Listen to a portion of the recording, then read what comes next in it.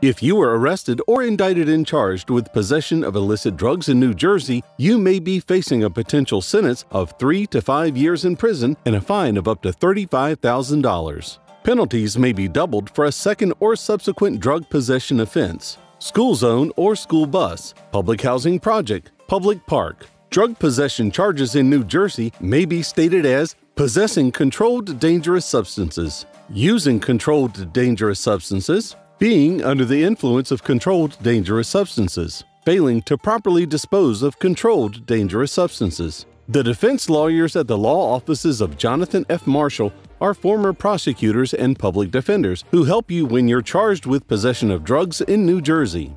Our legal team will work diligently to obtain the most favorable outcome for you. Call the law offices of Jonathan F. Marshall 877 450 8301 to schedule a consultation or visit NewJerseyCriminalLawAttorney.com.